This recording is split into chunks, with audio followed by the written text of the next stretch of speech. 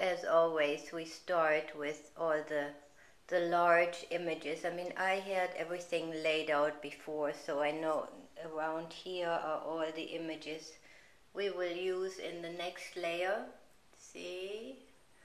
And there's my glue. So I kind of uh, put them to the side wherever they later go to, will be glued onto on the board. The Yes Paste, this is my brush, just a cheap brush that I cut off. And um, then I apply it like this. It's it's of course easier. I mean, it's up to you. I normally, when I do vision board parties or I work with more people, we use glue sticks.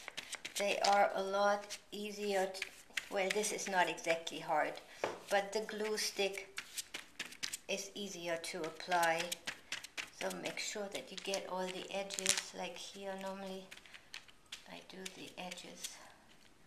I'm gonna hold the glue right here and um,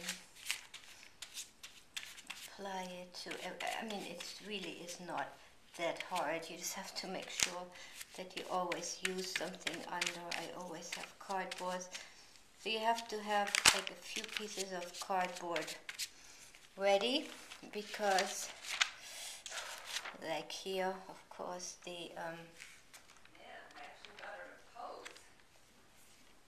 You did? Goes this way.